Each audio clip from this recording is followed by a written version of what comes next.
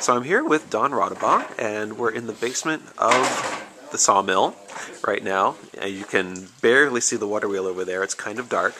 But uh, we're down here with uh, Jimmy and Pete Kricker from Rondout Woodworking, and they're helping us to install the new horizontal turbine, which will um, help to run the mill and make it so that the mill is actually demonstrating most of the water power technology that the Hanfords had back in the 1800s. It's very exciting. You can see uh, the level that they're using to make sure that the chute that leads to the turbine, which is in that dark corner over there, um, can be properly used.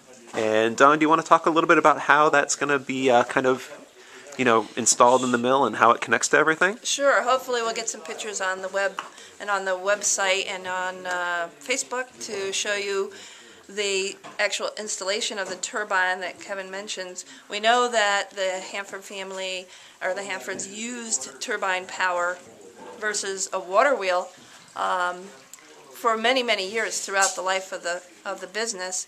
So um, what's happening is today they're making taking some measurements, and when that gets further along, we actually see a flume starting to go in to connect to the turbine. We'll get some more pictures.